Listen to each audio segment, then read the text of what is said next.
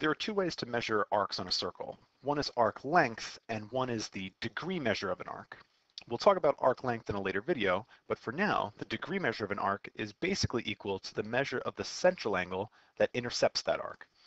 Well, what that means is, if I have a central angle, such as in circle O, angle GOF, GOF, this right here, is 80 degrees.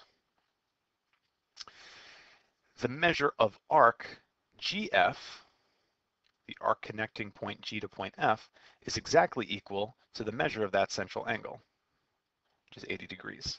They're measured in the same units, which is degrees, which is kind of convenient for us. So GF is 80. If I wanted to find measure of angle FOE, F to O to E, well, since GOE is a diameter passing through the center of the circle, and it's a straight line, any straight line has 180 degrees in it, so I would need another 100 degrees to make up that 180. And the measure of this arc, which angle G, I'm sorry, FOE intercepts, would share that same degree measure, 100 degrees. So FOE is 100, and FE is also 100 degrees. Now, noticing GFE, well, GFE is the arc which takes up this 80 and this 100 degree angle. So GFE would be 180 degrees.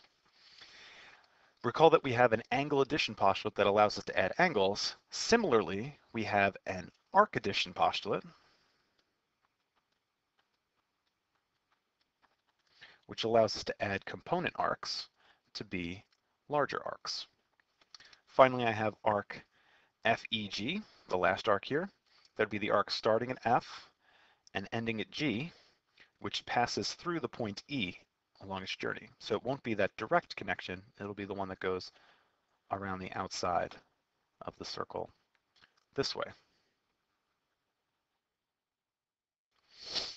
Well, since I already know that arc FE is 100, and GE is a semicircle, meaning that it takes up half the circle or 180 degrees of the circle, then the combined arc 100 and 180 would be 280 degrees.